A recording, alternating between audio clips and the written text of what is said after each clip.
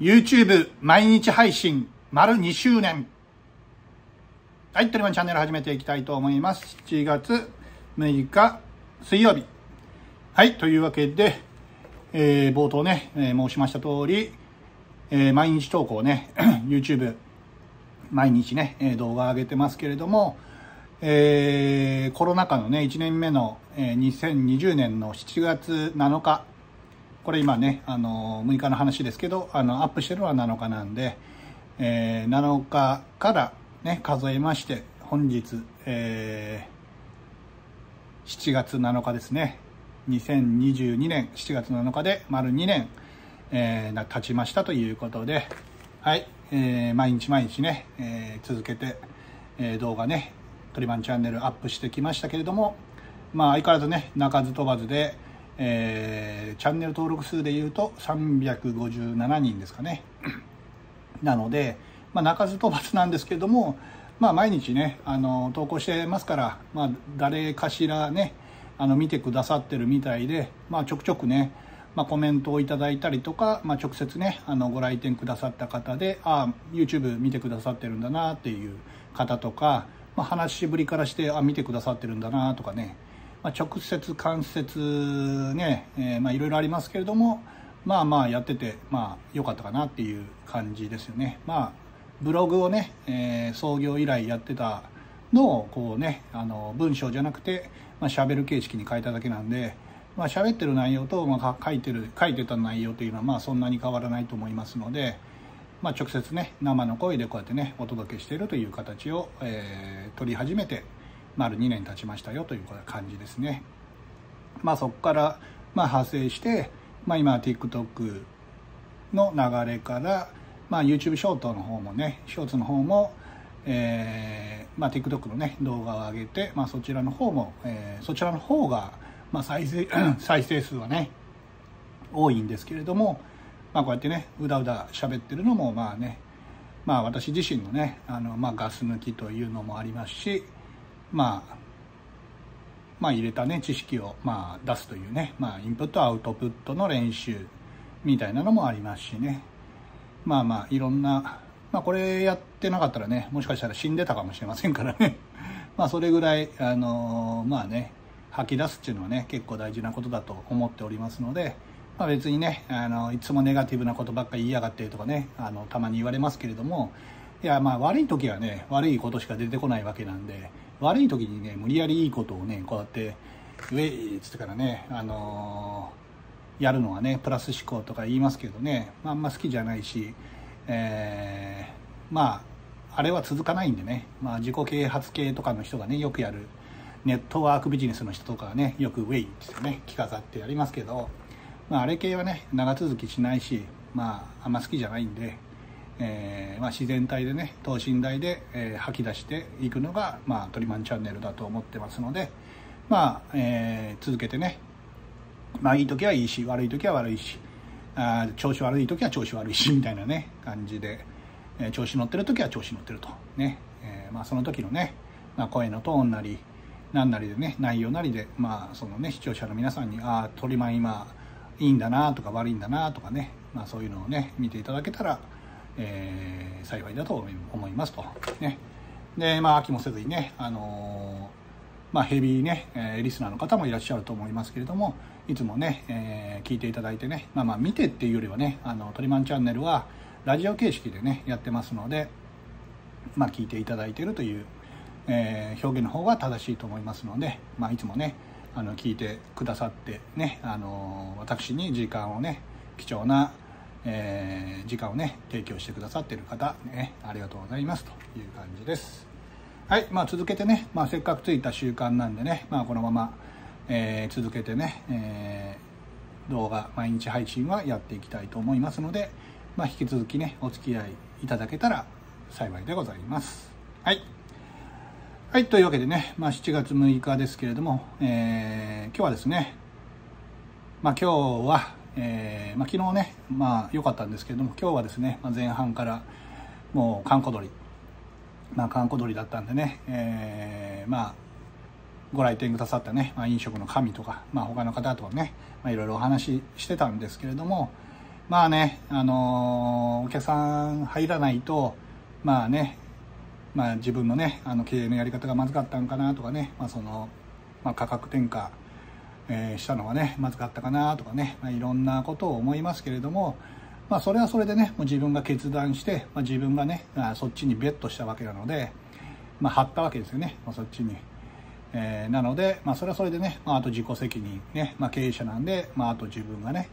あの結果を出すか出ないか、まあ、出なかったら自分がねあの食らうっつうだけなだけなので、まあ、別にそれはねもういいんですけれども、まあ、やっぱりねそうはそうは言うてもね、えー、実際ねあの来ないお客さん来ないとなるとまあね鬱屈した気分になりますしまあやっぱりねあのやり方まずったかなとかね悶々と、えーまあ、頭の中ねこう駆け巡るわけなんですけれども、まあ、そこはねじゃあ安売りするかっつったらね、まあ、それはもうしないって決めましたので、まあ、決めてるので、まあ、それをやっても何も売るものがないし、まあ、こうあの結局ね、あの疲弊していくだけなので、まあ、どうせ疲弊するならねあのちゃんとしたやり方、まあ、真っ当な商売ね、あの上がったんならね価格が、まあ、原材料費上がったんなら、まあ、上げて、えーまあ、適正な、ね、価格で売るということをやっていかないとどっかにね歪みが出ますし、えー、ま、従業員さんねお給料も払えなくなっちゃいますし、ま、私自身もね生活が、えできなくなっちゃいますのでやっぱりちゃんとね、え利益を、えー、ね売る、えー、仕組みというのはね、まあ、作っとかないと、えー、まあ、そのね仕組みがダメな仕組みだと忙しくても暇でも、え結局利益出ないというふうになっちゃいますので、まあ、今の、まあ、仕組みだとまあね、あの普通にお客様が来ていただけさえすればあの回るという仕組みに、えー、ね、切り替えてるわけなので、えー、まあ、それをね、まあ、我慢強く待つと、まあ、あとは仕掛けをね、まあ、安売りじゃない仕掛けを、え、していくということしかないわけでね、まあ、よくキャンペーンとかねね飲み放題3時間4時間とかね、えー、アホなことやりますけれどもまあ、そんなんやったってねあの従業員さんにねあの負担がかかるだけで、えー、そして、ね、時給が上がるわけでもないし、ね、で経営者も別に儲かってるわけでもない。ただ単に雰囲気ですよね。あとりあえずお客さん来たなと。わよかったなというただ単に自分のね心の弱い心のね部分の逃げでありね、まあ、その安心感を売るために、まあ、そうやってねいろんなものを犠牲にしてるだけなので、まあ、そっちには逃げたくないなと。いう思いで今ね、まあ、歯食いしば歯食いしばってね、えー、本当に餓心昇胆の思いでねやってますので、まあえー、そっちじゃないね、まあ、いわゆる、まあ、なんかよくね反則活動とかね、えー、言うとですねあその安売りとか、えー、キャンペーンとかの方にねポイントがなんだらとかねになりますけどそうじゃない反則のやり方を模索しないとね、えー、何も生まれないわけなので、まあ、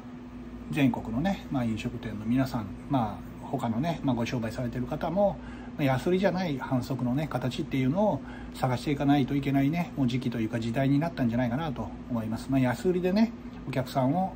えー、ね、呼び込むというのはね誰でもできることでなので、まあ、ただし、えー、まあ、例えばね、えー、商品半額にしますよってなりましたらそうなったらねあの元の、え利益をね、え取ろうと思ったらですね、え倍の人数をね集客しなくちゃいけないわけなので、まあ、そんなことはね田舎ではね、え無理なので、まあ、そんなことをね田舎でやってたらそんな商売はできませんので、えー、それだけはやっちゃいけないなっていうのをね、まあ、本当にここ何年間特にね、えー、自分に言い聞かせながら、えー、そういう手を使わずにね、えそれでも、え店が回るようにえ、ね、自分に、まあね、あの劇を飛ばしながらやっておりますという形ですね。で今日ねありがたかったのは、まあ、そうやってねもう本当にもう心がねウィーってなってる時に、え、後半ですね、まあ、二次会、まあ、ちょうどあのビアガーデンのね二次会のお客様かなって思いながらドバーッとね、えー、後半来ていただいたので、えー、後半だけでねなんとか、え白星まであともうちょっとぐらいまでねえー、なんとか追い込むことができましてね本当に、えー、まあね地元、えー、町ね、えー、某大手企業ね皆様、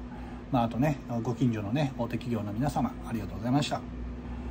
はいというわけでね本当にね今日はね本当にヒヤヒヤもんでしたけれどもねまあ、終わってみたらねあの形になったので、まあ、白星まではいかなかったですけれども、まあ、前半ねもうなあ今日な売り上げ5000円ぐらいで終わるんかなぐらいの勢いだったのが、まあね、白星付近まで、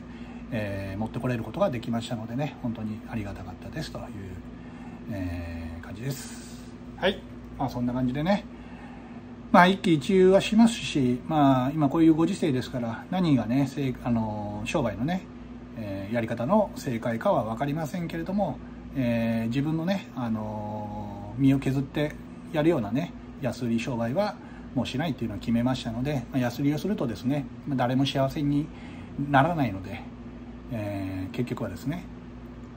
なので、まあ、そういう商売はやらないという決めた決めましたので、まあ、それで、まあ、どこまでいけるか、まあ、それでね、まあ、潰れたらしょうがないなというもうね腹くくってやってますので。